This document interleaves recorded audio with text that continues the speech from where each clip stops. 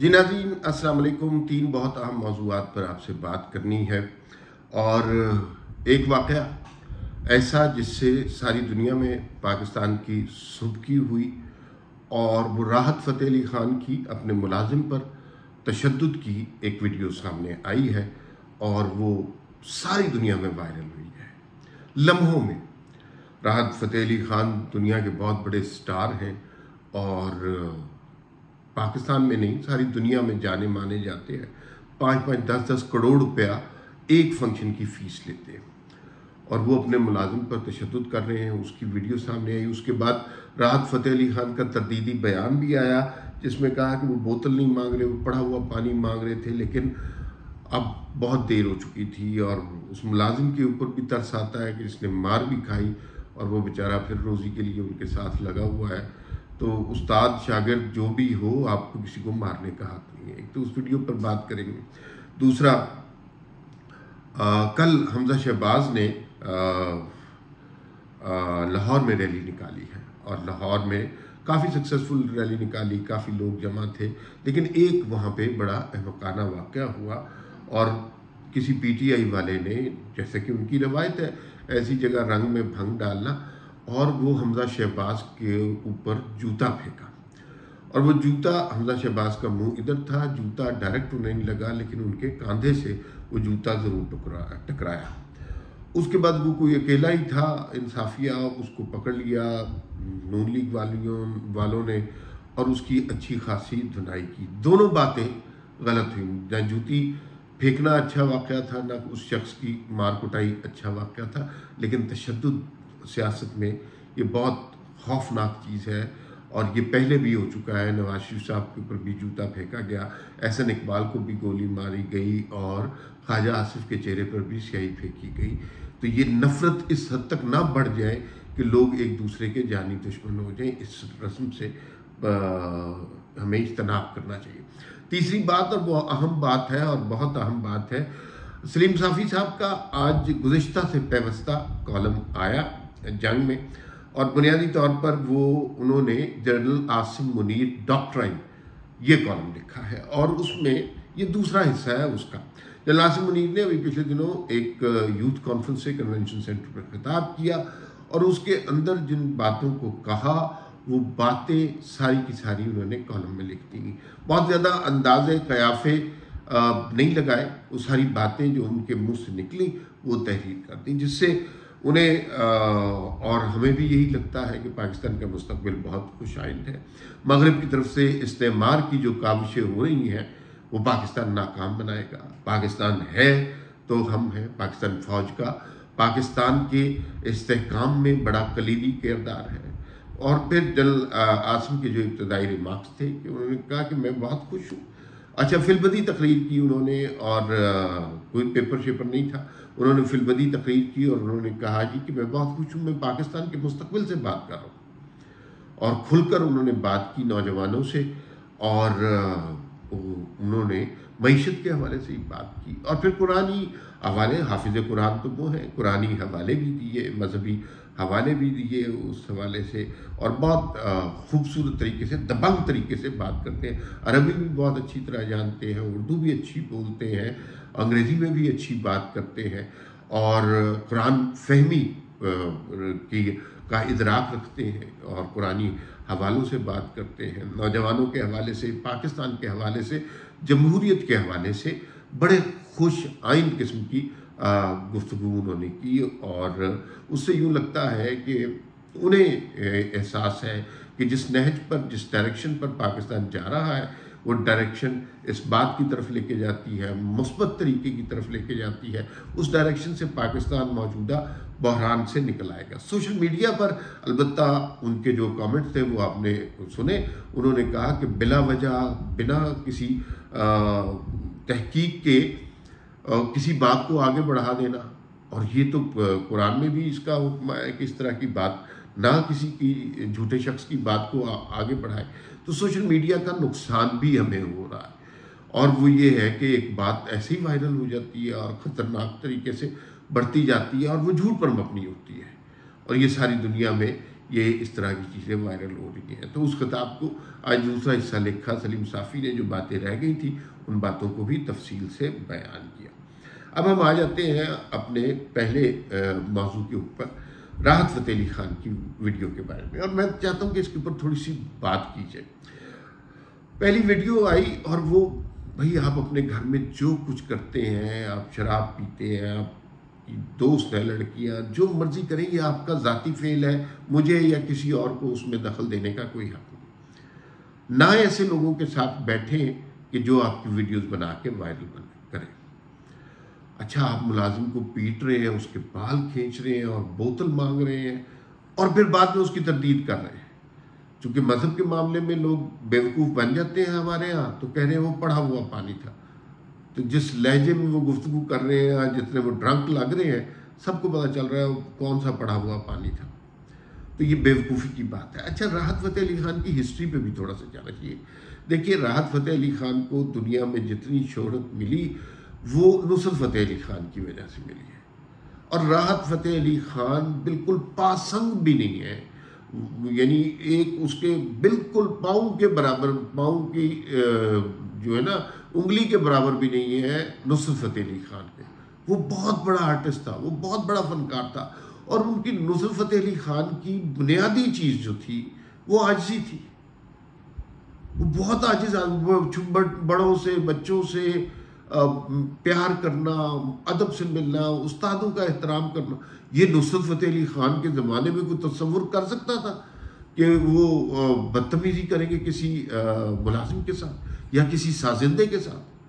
उस साजिंदों के साथ तो उनकी जुगतें चलती थी सारा दिन। आपको मैं एक सच्चा वाक़ बताऊँ। इस कदर आजिज आदमी थे, इंडिया में उनका गाना बहुत पॉपुलर हुआ, आफरी आफरी। अच्छा उसका ऑडियो ट्रैक उन्होंने किया उन्हें और इतने मसरूफ आदमी थे, वो ऑडियो ट्रैक कर लेते थे। उन्हें नहीं पता होता था कि वीडियो ट्रैक क्या बन वीडियो क्या बन रही है, ये वो।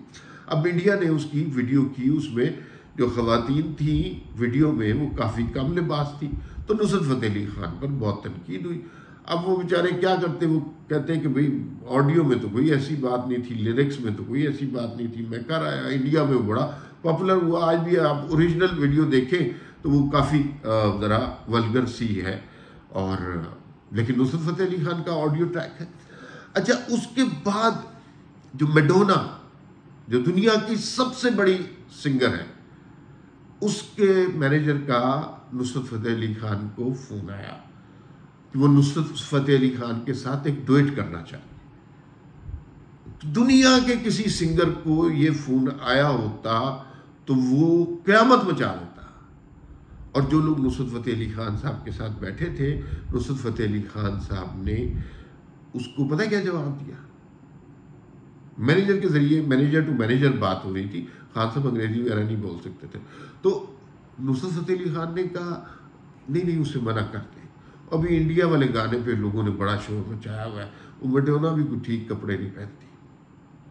ये बिल्कुल सच्चा है नुसरत फ़तेह अली ख़ान रहमत ग्रामोफोन फैसलाबाद का था, वहाँ से तीन हज़ार रुपये में एल्बम रिकॉर्ड करते थे, कव्वाली की। बुनियादी तौर पे कव्वाल थे, और तीन हज़ार रुपये का फिर खाना खा लेते थे। अच्छा फिर पीटर गैब्रियल ने डेड मैन वॉकिंग एक इंडियन इंग्लिश मूवी थी, उसका साउंड ट्रैक नुसरत फतेह अली खान से कराया। उसके बाद नुसरत फतेह अली खान पॉपुलर हुए। अच्छा जब पॉपुलर हुए तो इमरान खान ने भी उनकी पॉपुलैरिटी को बड़ा यूज़ किया। हर जगह फ्री फ़ंक्शन करवाए नुसरत फ़तेह अली खान से। और इंडिया में ख़ास तौर पे नुसरत फ़तेह अली खान बहुत बड़ी शहर था। बहुत बड़ी। कई ममालिक के टेलीविज़न ऐसे हैं कि जिनका आगाज़ फ्रांस में टेलीविज़न का आगाज़ नुसरत फ़तेह अली खान की आवाज़ से होता है।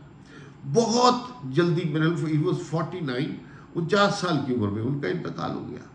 इतनी छोटी उम्र में उनका इंतकाल हो गया और वो बहुत बड़ा सिंगर था। अभी तो उन्होंने काम करना था। और उनके जानशीन और आजिज आदमी। एक बेटी थी, बस उससे बेनतहा बेनतहा प्यार करते थे। और कभी तस्वुर भी नहीं कर सकते थे कि वो किसी से बदतमीजी या ऊँचे लहजे में बात करेंगे। लेकिन ये राहत फतेह अली खान, उनके जानशीन बने। ना ये उस लेवल के गुलूकार हैं। अजीब सी इनकी आवाज़ है। आप इनको लाइव नुसरत फ़तेह अली खान को लाइव सुने, यूँ लगता था आप कोई सवाब का काम शुरू कर रहे हैं। राहत फ़तेह अली खान को आप लाइव सुने, लगता है आपको गुनाह कर रहे हैं। तीसरे गाने के बाद आपको मोनोटोन लगती है, हर चीज़। तो ये जो छोटे बर्तन में ज़्यादा पानी पड़ गया, और इनके रेट्स आप देखें, पाँच करोड़, दस करोड़ एक एक फ़ंक्शन के ये पैसे नहीं इन्हें पैसे की कदर ही नहीं है। वो स्ट्रगल तो नुसरत अली खान की थी, जो तीन हज़ार से इस लेवल पे पहुँचे थे। आपको पता है इंडिया में एक फ़ंक्शन हुआ, इनको सनी डेढ़ करोड़, दो करोड़ रुपया मिला। ये ब्रीफ केस में डाल के वापस ला रहे थे एयरपोर्ट पे पकड़े गए। उन्होंने कहा, इतनी करेंसी नहीं लेके जा सकते। इन्हें पता ही नहीं था। इन्होंने कहा अच्छा पेमेंट मिली है तो मैं ले आऊँ। इन्हें पता ही नहीं है। इससे पहले भी इनकी ड्राइवर पर तशद की वीडियो सामने आ चुकी और ये अजीब पाकिस्तान का नाम बदनाम कर रहे हैं सारी दुनिया में। ये किस किस्म के सेलिब्रिटी बने हुए हैं? और सिंगर भी कोई नहीं दुनिया इन्हें मानती है तो नुसरत फतेह अली खान की वजह से मानती है जो कि वाकई बहुत बड़े आ, सिंगर थे। बहुत इनोवेटिव कारीगर का, कारीगर आदमी थे हुनरमंद आदमी थे म्यूज़िक के मामले में। ये तो ये कि मोनोटोन में गाते हैं। और बस उनके नुसरत फ़तेह अली खान के और उनके नाम का और उनकी धुनों का खा रहे हैं। तो बहुत बदनामी हुई है पाकिस्तान में और सारी दुनिया में। इस तरह की खबर इंडिया में जिस तरह चल रही होगी। इंडिया एक, इंडिया में आप एक्टर्स देख के हम ज़ाहिर है उनकी खामियाँ उनकी जो पाकिस्तानी दुश्मनी है उसकी खामियाँ भी हम बड़ी करते हैं। लेकिन उनके जो एक्टर्स हैं वो कितने हम्बल लोग होते हैं। और उनको आजिज होना सिखाया जाता है। ये क्या कर रहे हैं राहत फतेह अली खान? तो बहुत तकलीफ़ दे वीडियो देखी हमने। नहीं होना चाहिए था ऐसा। तकलीफ़ दे चीज़ है। और राहत फतेह अली खान को खुद भी अकल के नाखुन लेने चाहिए। अब बात करते हैं जनाब उसकी, हमजा शहबाज के ऊपर, जो जूती फेंकी गई। लाहौर का क्राउड है। लाहौर में आजकल हवा चली हुई है नवाज़ शरीफ इमरान खान साहब वाली कहानी पुरानी हो चुकी हुई है वो जिस ज़माने में ये जूतियाँ फेंक कर नवाज़ शरीफ पे तालियाँ बजाया करते थे और मस्जिदों में अपने कारकुन बिठा दिया करते थे तो वो और ज़माना था। अब ये जो है, और ज़माना है। अब हवा का रुख पलट गया हुआ है। अब वो नहीं हो सकता।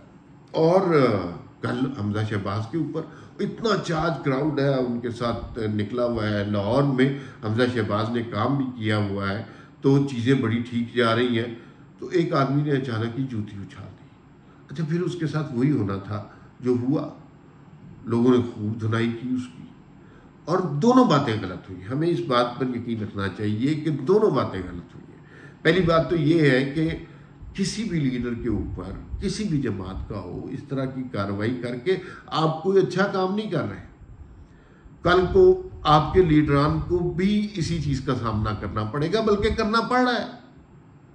आप कहाँ बचेंगे उससे? नहीं बच सकते। आप जो है बहुत बुरे फंस रहे हैं और आपको सारी तो एक मतलब वो जो है ना, कहीं ना कहीं शरारत करके अपनी असलियत दिखानी ज़रूर और वो असलियत दिखा दी कि पता चल गया कि यार इस सारे मजमे में ये एक बंदा था जिसका ताल्लुक तहरीक इंसाफ से था। और वो जो है, ये कर रहे अभी मतलब हर बात में पकड़े जाते हैं। अभी इमरान खान साहब ने कल आपने सुना कि कल उन्होंने जेल में कहा कि यार देखे, नवाज़ शरीफ जरदारी के केस लगाते नहीं, मेरे रोज केस लगाए जा रहे अभी इमरान खान की किसी ने पुरानी स्टेटमेंट निकाली जब नवाज़ शरीफ के पानामा में रोज पेशियाँ किए जा रहे थे। तो किसी ने स्टेटमेंट निकाली कि भाई, इमरान खान साहब का ये अपना बयान है कि ज़बरदस्त, हमें ऐसी अदालतें चाहिए जो रोज़ पेशियाँ करें इन चोरों की। अब अपनी पेशियाँ आ रही है। हर मसले का हल तहरीक इंसाफ के पुराने ट्वीट्स और इमरान खान के पुराने बयान में। जो मर्ज़ी आप निकाल लें। इसराइल से दुश्मनी करनी है, इसराइल से दोस्ती करनी है, दोनों तरह के बयान हैं। आइन के हक में जाना है आइन के खिलाफ जाना है। जनरल बाजवा की फेवर करनी है जनरल बाजवा के अगेंस्ट जाना है। फौज का एहतराम करना है, फौज से लड़ाई करनी है। नवाज़ शरीफ का एहतराम करना है, नवाज़ शरीफ से लड़ाई करनी है। आसिफ जरदारी का एहतराम करना है आसिफ जरदारी हर तरह का बयान ऑर्डर पर माल तैयार करने वाली पार्टी पाकिस्तान में मौजूद है, तहरीक इंसाफ। आजकल ज़रा खामोश है और ये जो साइफर केस का फैसला होने वाला है, इसके बाद इनकी खामोशी तवील हो जाएगी। फिलवक्त इतना ही फिर मुलाकात होगी। अल्लाह हाफिज़।